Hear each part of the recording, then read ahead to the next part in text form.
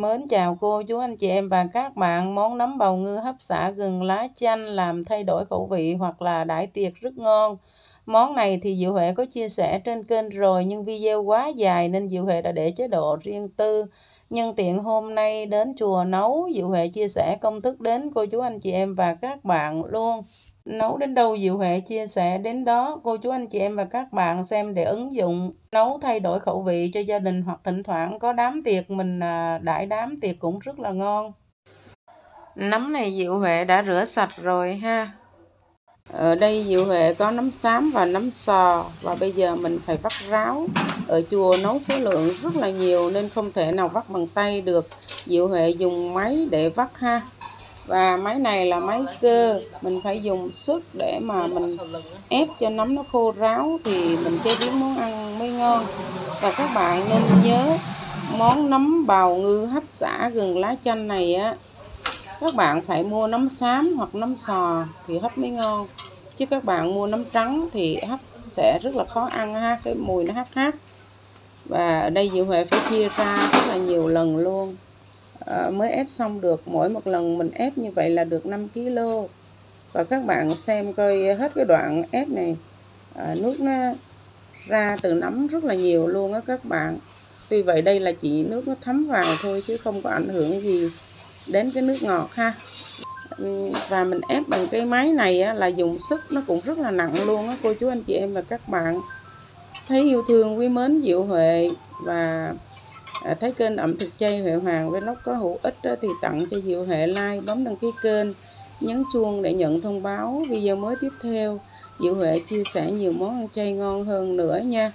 Và sau khi nấm vắt ráo thì mình chuẩn bị một cái ờ, rổ gừng và xả mình ờ, cắt lát và mình đập dập ha.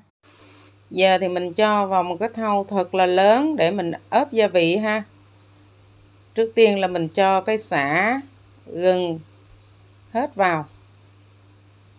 Gia vị nêm thì có muối, đường, bột nêm chai, bột ngọt và ở chùa Diệu Huệ nêm nếm chừng chừng ha và rất là chuẩn luôn, không bị mặn lạc gì cả, rất là ngon.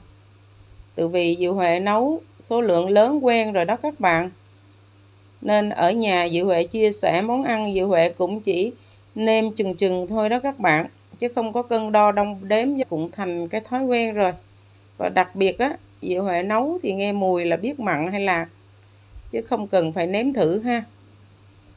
Rồi sau khi ướp xong á, thì mình vặn vào đây một ờ, ít cái lá chanh và mình trộn à, cho đều thấm gia vị.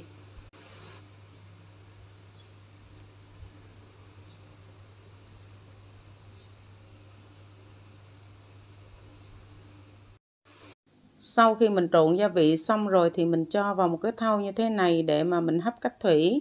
Đặc biệt món này là không hấp được bằng sửng ở nhà các bạn làm số lượng ít á, thì mình cho vào cái tố nhôm hoặc là cái tô sành á mình hấp cũng được ha các bạn. Rồi Diệu Huệ đã bỏ hết nấm vào một cái thau xong rồi nè. Rồi bây giờ mình cho nấm vào một cái nồi thật là lớn mình hấp. Cái nồi thì Diệu Huệ cũng đã cho nước rồi ha và hôm nay Diệu Huệ đi nấu có một mình không có Diệu Hoàng theo nên là vừa làm vừa quay phim.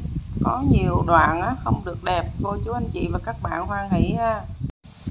Rồi bây giờ mình làm nước chấm ha. Ở đây có gừng đường ớt. Sư cô xay. Diệu Huệ quay phim.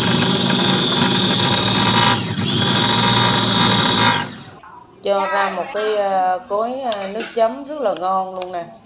Mình pha thêm nước mắm, chai và chút nữa mình cho vào một ít chanh hay tắc, chua chua ngọt ngọt, rất là ngon và hấp dẫn luôn nè. Sau 10 phút hấp thì nấm đã chín cô Phật tử đang múc ra một cái dĩa inox để chuẩn bị đãi tiệc. Rồi bây giờ Diệu Huệ chia sẻ tiếp cái phần đại tiệc.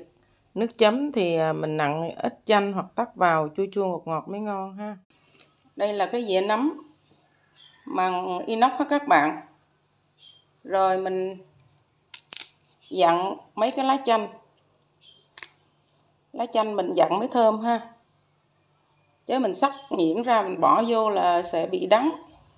Rồi nấm sôi rồi các bạn cũng trộn lên rồi chấm với lại uh, nước uh, mắm uh, gừng chua ngọt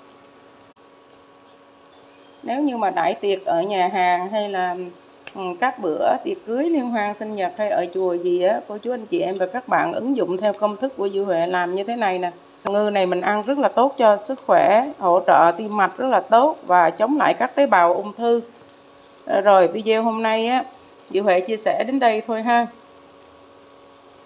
Rồi à, Diệu Huệ chúc cho cô chú anh chị em và các bạn ứng dụng làm cái món nấm bào ngư hấp xả gừng lá chanh này ăn ngon miệng. Um, Diệu Huệ xin được dứt video ở đây ha. Mến chào và hẹn gặp lại ở video tiếp theo. Diệu Huệ tiếp tục chia sẻ nhiều món ăn chay ngon hơn nữa.